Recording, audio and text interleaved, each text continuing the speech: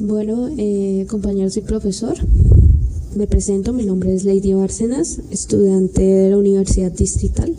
Actualmente me encuentro haciendo la movilidad académica con ustedes en la Universidad Santo Tomás.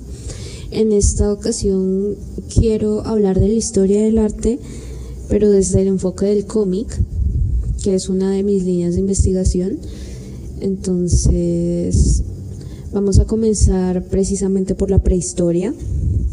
En la prehistoria bien sabemos que tenemos representaciones gráficas, como lo era la casa, como eran estas figuras de los bisontes siendo rodeados o atacados por grupos de personas y estas representaciones de la figura humana que no eran como tal fieles a lo que uno buscaría en figura humana, pero eran las primeras aproximaciones a la misma.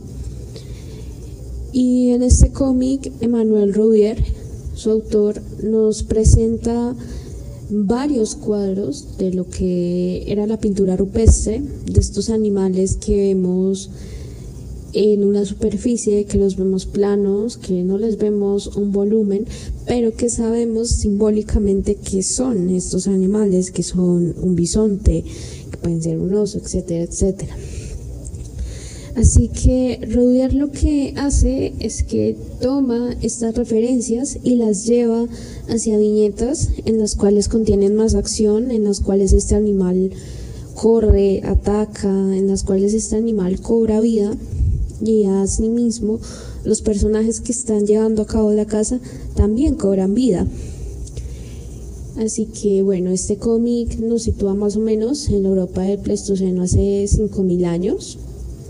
Y pues su autor es alguien que realmente ama la arqueología, que ama todo este contexto de la prehistoria y lo lleva a esta serie de cómics en las cuales desarrolla la historia de un nerdental que tiene una incapacidad para moverse, pero tiene grandes capacidades para llegar a forjar armas. Pasamos entonces a la civilización mesopotámica. Em, esta narración nos presenta el título de Epic of Gilgamesh, Em, este cómic está basado en varias deidades, en un pueblo que necesita a su rey, en un conflicto, y lo hace de una manera cómica, de manos pues, de Kinoko Evans, que es su autor. Nos presenta también una estética un poco cartoon, un poco de caricatura. No obstante, conserva estos elementos sobre las deidades, conserva cosas como las alas, como la representación de los animales, como estas hibridaciones entre hombre y animal. Y asimismo también, a pesar de todo, nos presenta ciertos relieves, por ejemplo, en una de las viñetas que tenemos en la presentación vemos como Anu, que es el dios de los cielos, em, está sentado sobre un trono y este trono tiene precisamente una inscripción de un relieve, de un ave. Así que, pues bueno, eh, los invito a leerlo, la verdad es muy entretenido y es una reinterpretación bastante interesante. Reúne realmente muchos elementos de lo que fue la civilización mesopotámica, pero pues de una manera muy cómica. Luego pasamos a la civilización persa. Eh, la civilización persa se caracterizó precisamente por sus construcciones arquitectónicas que eran el resultado de la hibridación de muchas otras civilizaciones anteriores. Así que en esta ocasión tendremos el príncipe de Persia en su novela gráfica, en la cual no se hace hincapié como tal en los altos relieves que se presentaban en la época como en el Palacio de Persépolis, sino que tenemos en cambio una gran variedad en cuanto a lo que eran los azulejos, los cuales se llegaban a usar para la decoración en los templos y precisamente estos azulejos llevaban figuras del ejército del rey y al rey mismo para marcar esta supremacía. Así que, pues bueno, ya muchos conocerán los videojuegos, ya muchos conocerán el arte conceptual, no obstante, pues es una obra que vale la pena revisar, también por toda su historia, por el conflicto bélico que nos presenta y por todos los cambios que podemos ver tanto en la novela gráfica como en los videojuegos.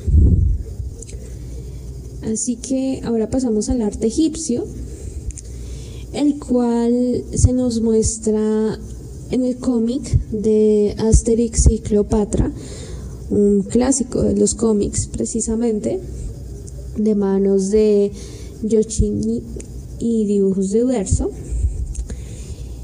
Este cómic precisamente nos muestra un poco de cómo fue el reinado de Cleopatra y asimismo no deja de lado los detalles como el trono, como estas manifestaciones de los jeroglíficos, incluso en los cuadros de texto de los personajes. También nos los muestra en las edificaciones, en toda la construcción de la imagen misma.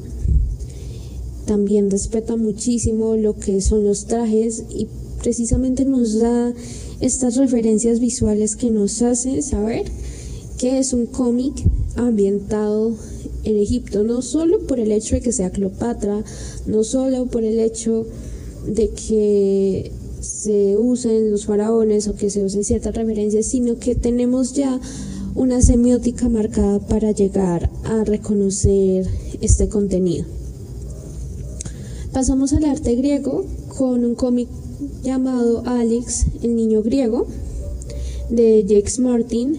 Esta narración, la verdad, es sorprendentemente buena en cuanto a su contenido histórico y de hecho tiene una pequeña transfiguración puesto que puede ser tanto del arte griego como del arte romano. Em, esta narración tiene muchísimos títulos en cuanto a la historia griega. Y precisamente es un material didáctico interesante para que los estudiantes no solo conozcan la historia, sino que también se observe a nivel visual la riqueza de lo que poseía el arte griego, no solo en cuanto a su arquitectura, sino que también en los mismos personajes podemos ver ciertas referencias como tal de la escultura griega, lo cual es bastante interesante. También obviamente su riqueza a nivel de color, puesto que nos sitúa un poco más en el periodo que estamos trabajando. Así que también es un cómic muy recomendado. Tenemos por otra parte el arte romano con Gloria Victis de Mateo Guerrero y Juanra Fernández, el cual se centra más que nada en estas carreras de caballos que se llevaban a cabo en los coliseos en Roma. Nos presenta unos detalles en cuanto a arquitectura muy certeros. Asimismo, respeta mucho lo que fuera la historia del arte romano como tal en este cómic a destacar precisamente esos pequeños detalles también en las carrocerías y como tal en la figura de sus propios personajes, en esa anatomía que nos presentan. Así que también es un cómic muy recomendado, aunque es un poco complicado de encontrar. Por otra parte, tenemos la Edad Media con el cómic de Cruzada, la Edad Media tuvo muchas manifestaciones a nivel artístico, pero precisamente como quería centrarme en la parte del cómic, este cómic es más que nada de tema histórico, del conflicto entre cristianos y musulmanes. Nos presenta muchísimos escenarios bélicos, muchísimas situaciones en las cuales el cómic nos hace una inmersión en la historia. Entonces, precisamente es un muy buen referente, un poco complicado también de, encontrar, pero a nivel histórico es muy completo. Asimismo, pues el cómic se configura en algunas de sus viñetas como si fueran también representaciones de estos cuadros del medioevo, puesto que maneja todo, no solo todo el tema bélico, sino que maneja unas paletas de color que nos precisan a estos cuadros. Pero pues, como digo, es un poco también complicado de encontrar. Finalmente tenemos a Dago, un cómic creado por Robin Wood y Alberto Salinas, pero pues por posteriores problemas cambiarán sus autores. Em, este cómic nos narra las aventuras de un noble veneciano, el cual, pues por una masacre ocurrida en su familia, termina como un esclavo.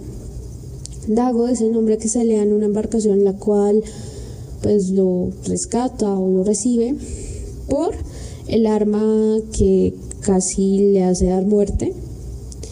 El cómic a nivel visual nos centra mucho en la época renacentista, en todos estos detalles que comenzaban a ser bastante pomposos.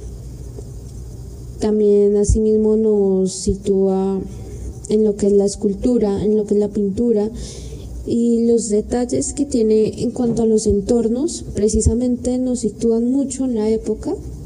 Es un cómic que sí es relativamente fácil de encontrar eh, y asimismo pues su lectura es sencilla. Y pues nada, profesor, compañeros, espero que si tienen alguna pregunta, sugerencia, me la hagan saber. Si quieren alguno de los cómics o quieren saber algo más, eh, yo con gusto les estaré respondiendo. No siendo más, agradezco su atención. Y pues nada, espero que podamos aprender mucho en este curso.